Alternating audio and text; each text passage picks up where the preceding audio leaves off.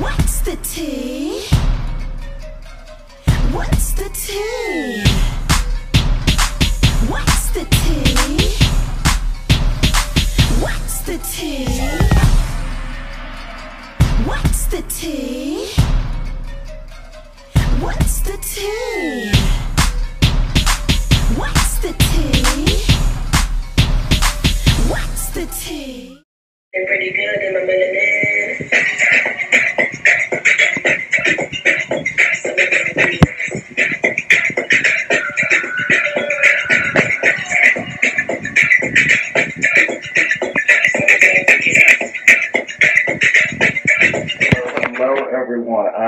the Water Bearer, and welcome to the Water Bearer's Tea. This is the weekly energy reading from November the 23rd through the 29th, and I'm entitling this week Intuition Peaks Before the Eclipse. Okay, and this is a little impromptu weekly, y'all. Okay, I'm coming to you from my bathtub. Yes, yes, yes. All right, I didn't have much time, but I was like, well, I'm taking a bath. I might as well hit, you know, two birds with one stone. Okay, relax and also get the weekly out for you guys. Okay. Um, honestly, this entire week has such a Neptunian influence that this weekly, honestly, is giving you the, those Neptunian vibes. Okay. Um, Neptune is the, the planet of fantasy, of dreams, of fogginess, of deception, of spirituality, of everything that goes in opposition to the logical. Okay, Neptune dissolves and decays anything that we can understand. So he basically makes us rely on our intuition. Okay, he's our dreams. He is, you know, our visions for ourselves. He is so much. Okay, and at the end of the week, he is going to be moving direct. He has been retrograde since the 22nd of June, and will be moving forward this weekend. But like I always say, anytime a planet is stationed in either going retrograde or direct, their energy is super, super strong. Okay, so this entire week, we're feeling him so strong. And currently, the moon is conjunct Neptune right now, actually, in Pisces. Mercury is also forming a beautiful trine to Neptune and the moon from Scorpio. Okay, and I'm really feeling this Neptune transit of the shifting from retrograde to direct. Um, and so it's super, super Neptunian. I've taken a like two naps already today. It's insane. I, this is my second bath. Okay, um, I really feel the need to just be in water and just be in, in, in a surrendered place. Okay, sleeping or relaxing in the bath. Um, it's such a very Piscean Neptunian energy. Okay, one second. And so I'm just gonna come in, drop quick tea for you for the weekly, and then get back to relaxing. Okay. Um, but I do feel it's necessary to get this message out, though, and I felt the I felt a good feeling. I like, I might as well do it right now, okay? And so basically, this week, guys, is so many interactions with Mercury, but Mercury's in Scorpio, okay? And this means that you know this is a very deep, um, probing, and analytical focus for us, okay? Um, we're not just looking things up; we're really looking things up. Uh, Mercury and Scorpio is also like the detective, okay? Um, but it also, excuse me, um, all this coughing, there must be some people that need to speak up and need something they need to say, okay? So this Mercury in Scorpio also is, a lot of people must have a lot of things they're, they're hiding, um, or feelings they're hiding, or, um, you know, things they want to reveal, or questions that they have within, but they're keeping it in, okay? Um, this is the time to really put your it's Sag season now, even though Mercury and Venus are still in Scorpio, giving it a still kind of a, a dark focus. It's Sag season, so it's about using all of this transformative energy we've had the past 30 days to move forward, okay, and to have the phoenix moment the next 30 days, okay. It's about resurrecting yourself and pushing into the new year, okay. Um, and so release those things. If you you know there's something you need to say, or if you, you know it's not necessary that you have to say it to someone, but process it and release it. Okay, release those emotions. Um, you know if there's anything you want to express, excuse me, yeah, get it out, y'all. Because I wasn't even coughing before this video. get it out, get it out. Um, also, if there, what else could it be? If there's something you're confused about, you don't necessarily, you know, you need more guidance with something. Not saying getting a reading, but reach out to someone. Okay, ask for guidance or, or look it up. You know, you know there, there there's a lot of congested throat chakra right now in the collective. Okay, um, but this this week the majority of the alignments are with Mercury. Okay, all about our thinking, our communication process. So it makes sense, and I really feel like we're going to be processing that and moving through it this week. Okay, literally the music, the song playing now is Waves, um, which is all about relaxation and following the flow.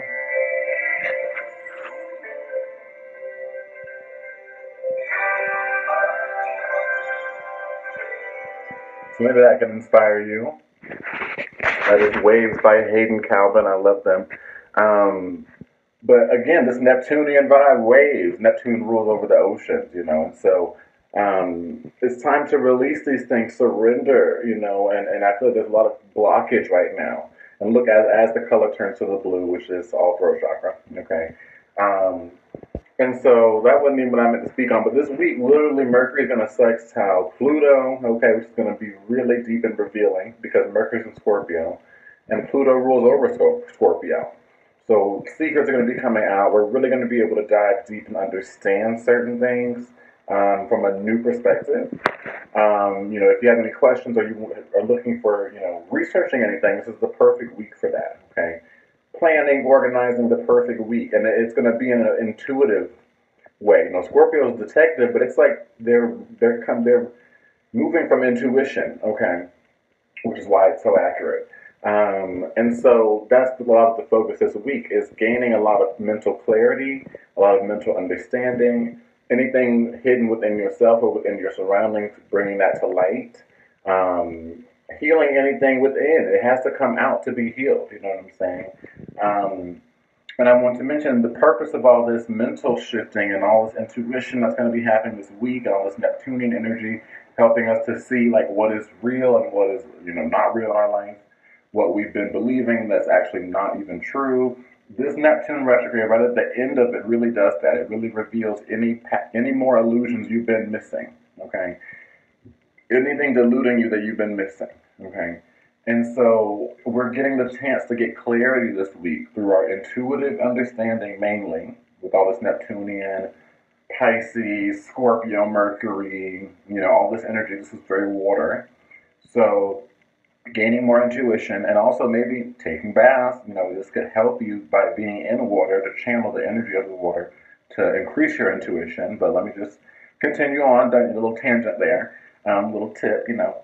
Um, but really, what I'm seeing this as, though, is the opportunity to gain clarity from listening to our emotions, processing them, and then fully moving forward, or tapping in through divination, tapping in through other spiritual tools, listening, using music, okay, spiritual things, okay, connecting with other people in your dreams. Pay attention to your dreams this week; they're going to be very, very, very important, um, especially with Neptune, you know, stationing this whole entire week. Um, really pay attention to your, the messages in your dreams, um, or even just how you're reacting in your dreams. You know, I've been having certain dreams recently, and it's not that the activities in the dreams are important, it's just how my demeanor is in the dreams. It's way different than it used to be. I used to have all these anxious dreams, and now I'm just like having fun and like enjoying myself, which is a really good sign. Okay, and it says a lot about the healing of the subconscious that I've been doing. Okay, um, and all the subconscious work and all that good stuff. Okay, and so pay attention to your dreams. Pay attention to, um, you know, the messages of spirit. There's been so many. I found a blue leaf as the light turned blue again. A blue leaf yesterday, like randomly. Okay, and I was like, what? Like, how did this even? Like, what is this? Okay.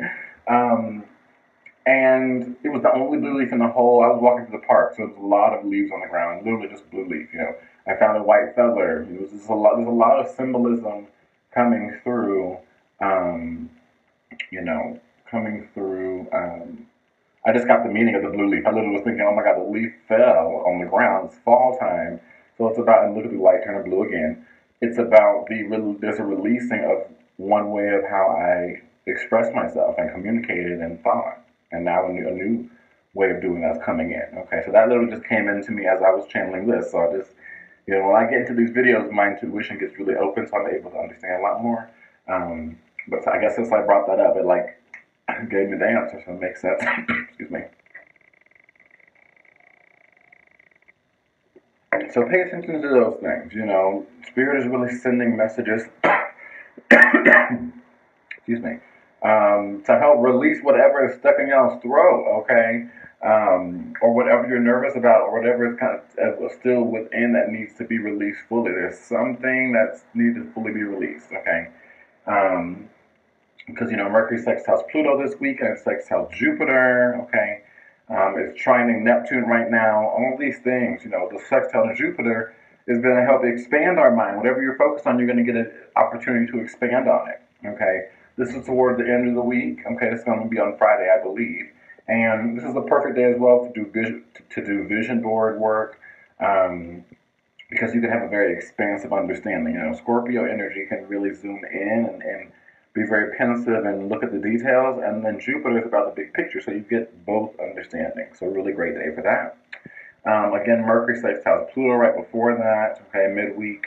Mercury is currently trining Neptune, so you're getting a lot of intuitive understanding. Okay, watch your dreams in the beginning of the week. Again, like I said before.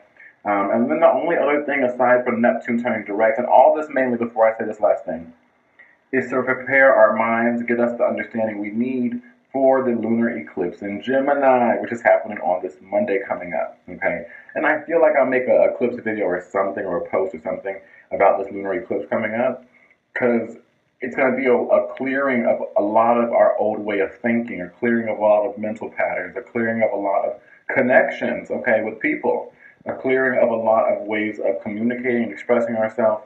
Um, really, a lot of people are going to be expressing and vocalizing things around this lunar eclipse to getting things out into the fresh air. Um, there could be a lot of arguments as well. So lunar eclipse has been building for the past six months, okay? Um, and so, you know, it's really going to be um, a resetting of our mind and getting us prepared for the future, okay? A lot of information is going to be coming out at this time. I'm literally starting a herbal course at this time, and so it makes sense that, like, you know, it's a whole mental reset, a whole new thing of information is going to be coming in for me after this. Um, and so this whole week is about getting your mind set, getting your mind ready, um, focusing your mind, getting the intuition you need, getting the insights you need. And then the last um, aspect is Venus opposite Uranus, okay? Uranus brings sudden shifts. So this could be sudden shifts in relationships, finances, your values. But it's always for the highest good. And Uranus rules over intuitive knowledge, okay? And so this week, you know, is really going to be very shocking, lots of information, but again, it's all this information, all this intuition, all this mental focus to prepare us for the mental lunar eclipse in Gemini, okay?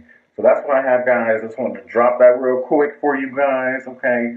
Um, if you want a personal session with me, I have the 21, I'm sorry, 2021 preparation readings. I really um, love them. I've been doing a lot of them recently to help people get into the new year.